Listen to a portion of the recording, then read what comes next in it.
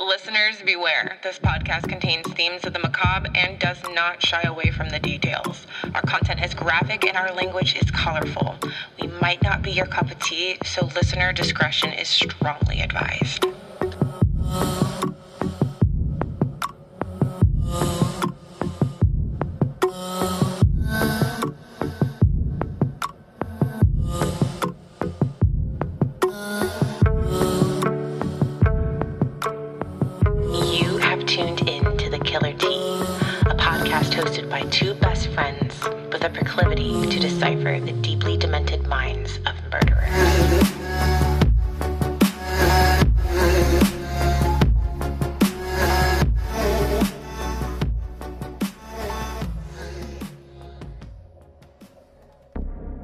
To Season 3, Episode 6 of The Killer Tea.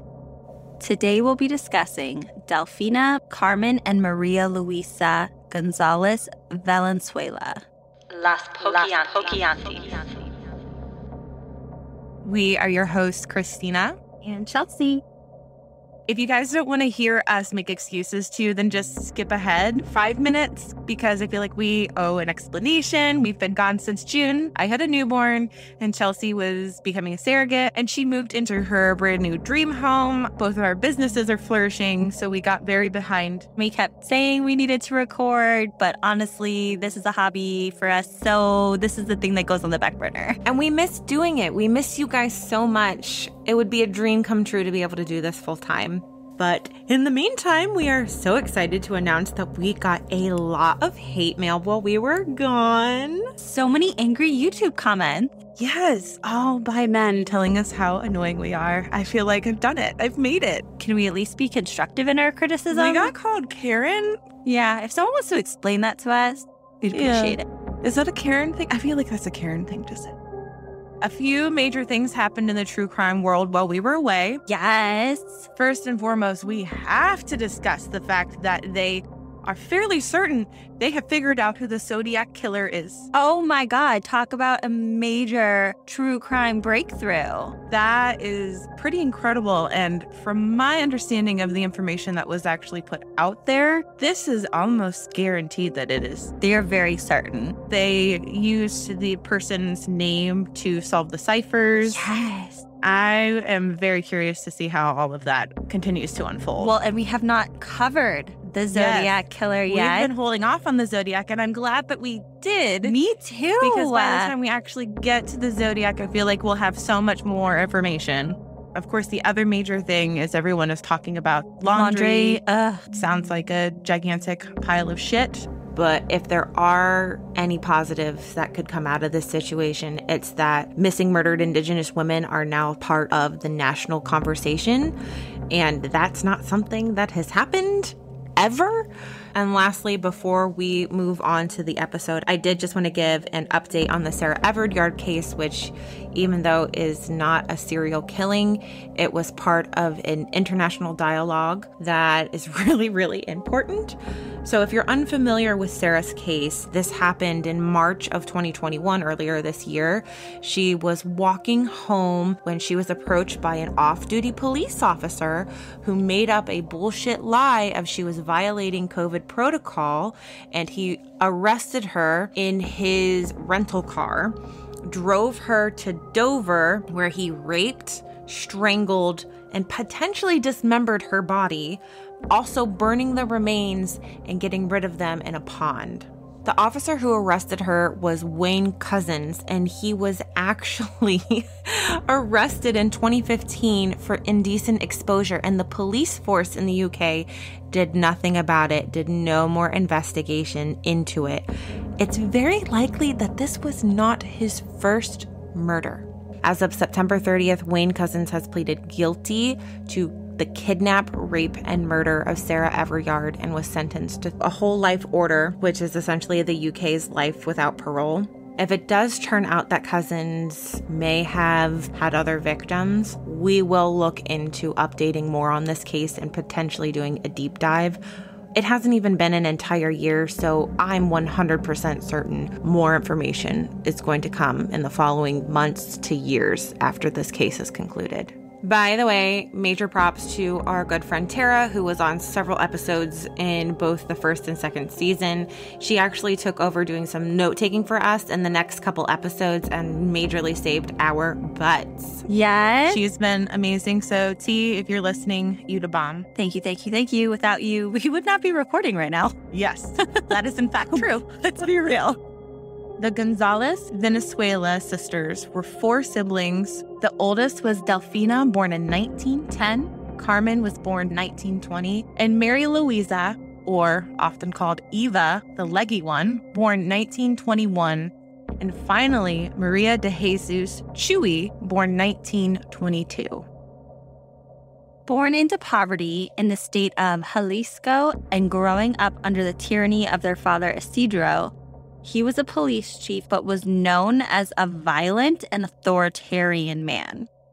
It is reported he would lock his own daughters in the jail cells for wearing makeup or risque clothing. Violent beatings would accompany these punishments. What? He also used his power as chief of police to threaten locals and procure bribes for his family. He sounds like a real peach. In everything that I read and watched, because I watched a lot of YouTube, he was kind of a gangster. And the abuse that his children suffered from him. I mean, what could they possibly be wearing in 19, 20, 30 that is revealing or scandalous? Uh, not that, I mean, this is definitely setting the tone for the girls' future behaviors. Yeah. Not much is known about their mother, but it can be assumed that if their father would have used his daughters in such a horrendous way, that the mother probably had to go through some pretty brutal treatment. And unfortunately, she did not and could not do anything to stop the abuse of her daughters. Right. I them. mean, if he's abusing his daughters, he's abusing all of he's them. He's abusing all of them. Let's let's be real here. As police chief, their father would frequently cruise around the village to make sure that everything was okay, you know, patrolling. But one day in 1921, an argument broke out between him and another man, and he shot and killed the man dead. He then rushed home to get his family to flee to a different city for fear of his victim's family retaliating against him. They would later settle in San Francisco del Rincon, and this is where the Sinister Sisters would start their own careers. Having started their lives in the poverty of El Salto, the girls were really driven to not be in poverty any longer. And as they grew up, this would drive them to start their own businesses in town, which then led to them opening a bar. This didn't make them rich, but it did provide enough to feed them and their families over the years. This eventually led them to prostitution. The sisters would, quote unquote, bribe officials with their sexual skills to prevent the officials from closing down their establishments. Things must have escalated greatly to go from point A to point B. That would lead the oldest sister, Delfina, to purchasing her own bar in 1938 in San Francisco del Rincon and quickly began running an illegal brothel out of it. To obtain the girls she needed, Delfina would post ads for help wanted as maids or cooks. And if the girls were pretty enough, Delfina would then force them into prostitution. She would keep them underfed and weak so they couldn't escape or fight back Delfina was in a relationship with an army captain who was affectionately known as the Black Eagle, and he would help get working girls by kidnapping girls from local villages. All, all of this is kidnapping. This is kidnapping. and You're not letting them go. Meanwhile, Chuy purchased her own brothel in 1950. So clearly the sisters are like, this is a fantastic idea. idea. they must have all known the inner workings of what each one of them was doing. So she buys her own brothel and purchased it from a homosexual man with the nickname of El Poquiantes, which is what the locals would call the brothel and a name that Chuy absolutely hated. So she tried to change it to La Barca del Oro. However, the locals never called it that, and it soon became known as Las Poquiantes, a name that would follow their sisters for the rest of their lives we attempted to translate this name, and because it's a nickname, there isn't really a translation. I'm assuming they didn't like it or Chuy didn't like it because of the homosexual man. Maybe it's a reference to homosexuality Yeah. she didn't care for it. but there isn't like a direct translation and we couldn't Right. find one. Chuy followed her sister's example and submitted her kidnapped victims to the same deplorable treatment as her sisters. In 1962, the governor outlawed brothels, so Chuy was forced to take her girls and relocate to Delfina's brothel since it was in a different state. The nickname Los Poquiantes still followed them back to Jalisco. The sisters would eventually come to own seven brothels in total, with the management split between them. Delfina, Carmen, and Chuy would co manage the brothels in Guanajuato and Jalisco, while Maria Luisa operated the locations closer to the Mexican border. The main location was located in San Francisco del Rincon and was called Rancho Loma del Angel, which translates to Angel Hill. But we also saw this translated to Graveyard of Angels. It would become to be known as the Bordello from Hell, which makes me think of the Bordello of Blood from Tales from the Crypt. Yeah. But the girls that worked here were known as angels and lived in deplorable conditions similar to those of concentration camps. So if you think about that, I mean, this That's- is that's this a is bad. Pretty severe comparison. Many of the girls that were forced to work here were kidnapped again by the Black Eagle, Delfina's Boo. Boo, or hired from the help wanted ads. The girls were force fed heroin and cocaine to keep them from leaving, offered almost no food, forced to sleep on the floors, or were locked into tiny rooms. The virgins were kept separate to sell to the highest bidder, while the rest were beaten savagely, raped, and sometimes showered with ice water as initiation to the ranch. This is the most disgusting, deplorable.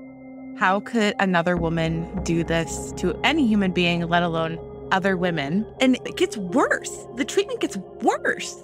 Yeah. After the sisters' arrest, some of the surviving angels came forward to share about their experiences, and they described the beatings and the torture they endured as follows. Frequently, after a day of work, they would be forced to kneel and hold bricks at shoulder level for hours on end. There was typically no reason for any of the torture that the sisters thrust upon them other than the fact that they enjoyed it. However, the angels would also get beatings if they did not please their Johns, which I'm assuming Johns is like. Well, that's a slang term for the men that hire prostitutes. Oh, I did not know that. you didn't know that? No, I'm this far into true crime and I did not know that. Oh, yeah. A John is anyone who hires a prostitute. Well, shit.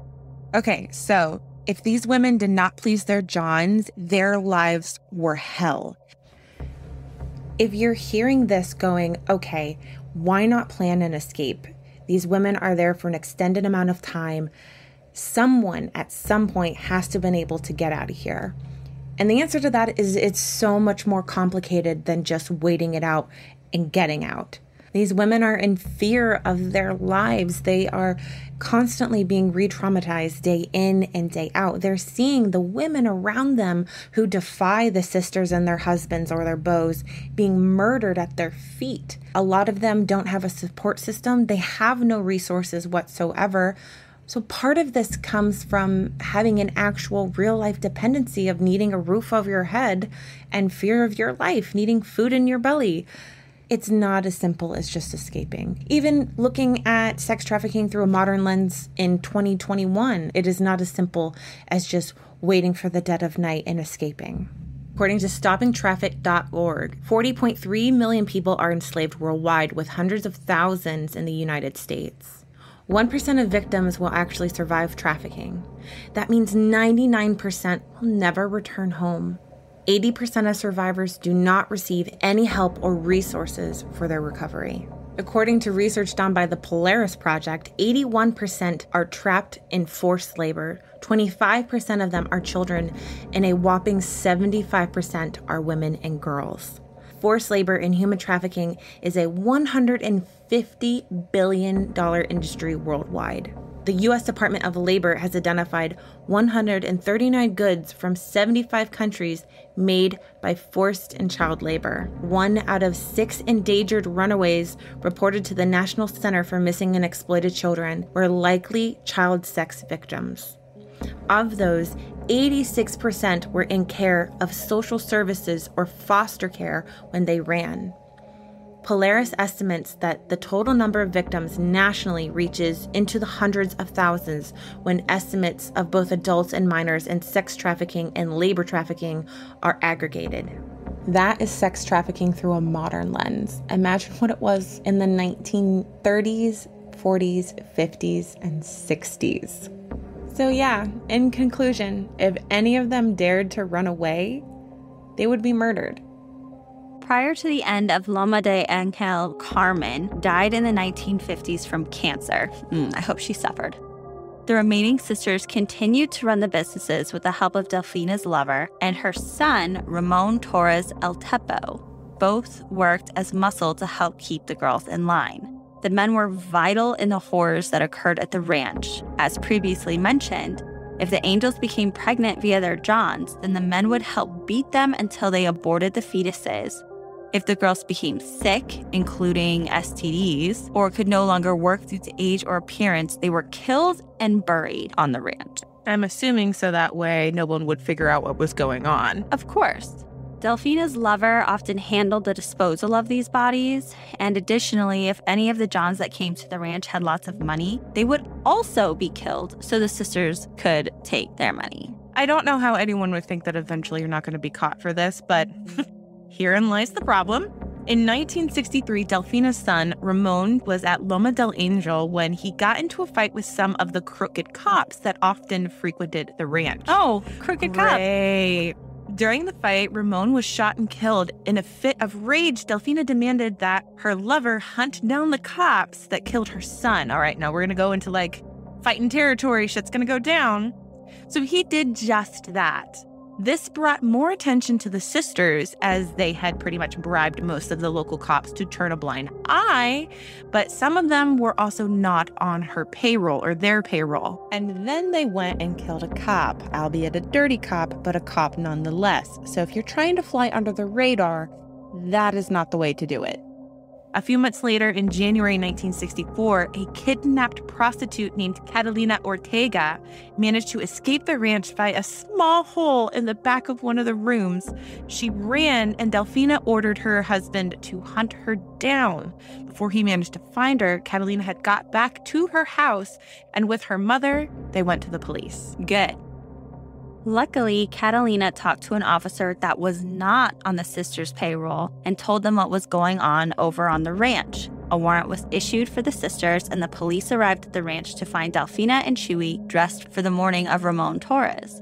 The two sisters were arrested on January 14, 1964, and the third sister, Maria Luisa, was not on the ranch at the time and managed to avoid being arrested immediately. The officers found dozens of emaciated women locked in the rooms on the ranch. While they were taking many of these women out to safety, the girls would point to places on the ground and simply say, bodies. As the sisters were arrested and let out, they were met by a mob of angry villagers demanding that they be lynched and handed over immediately. Maria Luisa eventually turned herself in, not due to thinking that she was actually guilty, but because she feared the angry villagers would find her and kill her, which they probably would have. Probably. She believed she would be immune to charges because Catalina had not named her in her statement to police, but she was immediately arrested and charged when she showed up at the station. Zuniga was also arrested for assisting the sisters with their crimes, which is the baby daddy. Upon search of the property, a total of 91 bodies were found. 11 men, 80 women, and several fetuses were dug up with various levels of decomposition from the 14 years that the sisters were in the brothel. 14 years they got away with this. Dozens of the rescued victims came forward to share their treatment at the ranch, from the sisters dabbling in the satanic acts, which you know our feelings on that, forcing women to perform sexual acts on animals, ugh, torture, and they often witnessed the killing of several other girls. Additionally, several accounts of sexual bribery with state and local officials were revealed, which caused a local uproar and vicious riots against the police. I mean, these are consequences of your actions. Consequences of your action. All three of the sisters were sentenced to 40 years in prison for their crime. Not enough time. No. Not enough time. Delfina, the oldest and let's say ringleader, ended up going mad in prison after only four years. On October 17th, 1968, while she was screaming and throwing things at workers that were repairing a cell above hers, a bucket of cement was accidentally dropped on her head, Accidentally on purpose? killing her instantly. She deserved way worse than that after only four years, but you know. Accidentally on purpose. Maria Luisa served 20 years before dying in prison in November of 1984. Her body was not discovered for days, leading to her body being partially eaten by rats by the time they checked in her cell. Ha! Okay. Mexican prisons. Wow. Wow, all right. Maria de Jesus was the youngest sister and served an undetermined amount of time in prison before being released and then disappeared. No record is around to show when or why she was released before the end of her sentence. There's a local legend that says she met with a man while they both served time in prison and they were both released and they ran away together to live in obscurity. Hmm. In 2002, 38 years after the sisters' arrest, while clearing the land of what once was Rancho Loma del Angel for housing, 20 more remains were discovered. Forensics dated the remains from the 1950s to the 1960s, making them potentially even more victims of the sinister sisters. With the previous remains discovered, it would bring the body count up to over 110 victims. The Guinness World Records called them the most prolific murder partnership. 110. That was um that was a lot. So bear in mind when we are looking for female serial killers, there are not a lot. The majority of the ones that we have information on are from the 17th, 18th, and 19th centuries, or they're women of legend at this point in time. and they're all mostly black widows. yes, And technically, they are gang killers. That's true. But they weren't killing people that they were well, They're sex traffickers. yes. Well, who were the girls in Egypt? Because this reminds me a, A lot of them. Of them. Yes. Oh, I know who you're talking about. That was Raya and Sakina from season two, episode like 10 or 11. And that was also very brutal. Yes. Those were sisters too. Yes. Holy shit, I What is forgot with about sisters? What is with the sisters, man? What I was getting at when I brought this whole thing up was that when we are dealing with these older cases, a lot of times we have to make educated guesses, which does oftentimes deal with jumping to some conclusions. Educated conclusions, but conclusions nonetheless. And we do know that they were horribly abused their entire lives. And we do know that they were operating in survival mode in order to get away from that abuse. I think we do need to reiterate and reemphasize that more often than not, childhood trauma is correlation, not causation. And you can have all the trauma in the world and not become a human sack of literal garbage that does torture and sex trafficking and murdering women and babies and all of that stuff. Childhood trauma is never an excuse to be a serial killer. Of course not. And survivalism is also not an excuse to be a serial killer. Yeah. You know, they wanted to start businesses to escape their father. And then they ended up doing worse monstrosities to other women after going through years of abuse from their father. Make it make sense. Okay, there's some serious girl on girl crime Bitches. happening there. But anyways, palate cleanser. Should we do our, our, our little our little ditty? Palate cleanser, this is the palate cleanser. Speaking of serial killer memes, the new season of Dexter starts on Sunday. I don't know how I feel about it because I fucking hated Deb. Yeah, but Deb's dead. But Deb is back in the series. She's going to be his dark passenger that talks to him. Oh, I haven't really watched a lot of the previews. I I didn't care about. I didn't care. I didn't dislike Deb, and I didn't like her. So I'm just excited for another season of my favorite fictional fictional serial killer. The new season of You. Fabulous. We just finished it. Oh, good. I'm so glad. It was excellent. They can't give any spoilers to anyone, but no, the way they ended it though was chef's kiss. chef's kiss. I thought it was going to be a little stagnant. Very quickly did that turn around. Yes, agreed. Okay, now on to some memes. It's a picture of American Psycho. Uh, yeah, Christian Bale. yeah. You can't spell slaughter without laughter. My biggest fear is a serial killer saying funny shit while I'm trying to play dead. Yeah. Yeah. White people, when there's a new documentary about serial killers on Netflix, our time has come.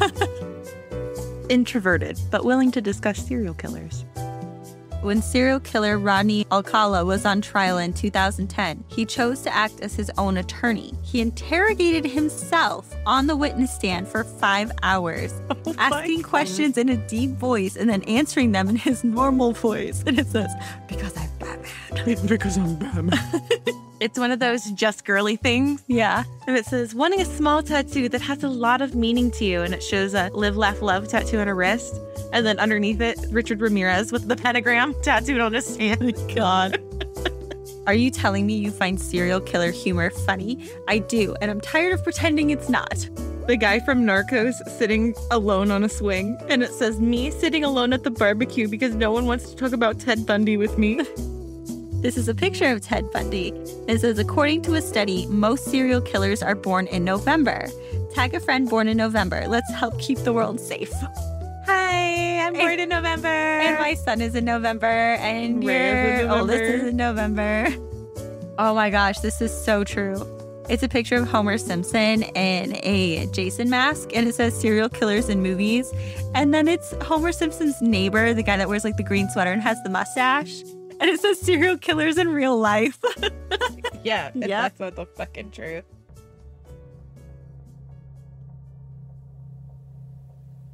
so, uh, Dahmer scale. How are you? How are Oh, you feeling about these ladies? 10 out of 10. I mean, Just come gross. on. Just, just gross. vile, horrible, disgusting human beings that. Yeah, I'm glad the, the cement fell and crushed that one. I mean, that's like, that's karma. Yeah, Karma's a stone cold bitch. that's a 10 out of 10. Great execution. Wish I thought of it myself. Love Great. that for her.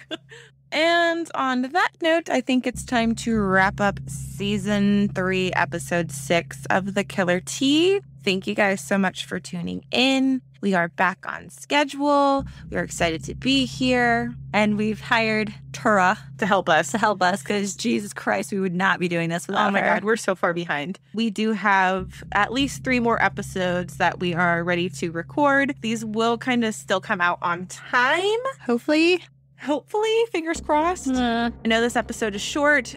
There- There's just not enough information to flesh out all the details to say someone in the 1970s. and especially in another country too. There's lots of media available on Los Boquiantes, but it's all in Spanish. A lot of those movies I saw came out in the 1970s. I tried to thumb through a few of them, but some of them didn't have subtitles. But that is Los Boquiantes. All right. Like and follow us on all of our social media at The Killer Tea. Don't be afraid to drop a comment, leave a review, and be constructive in your criticism. All right. Until next time. Until next time, Bye.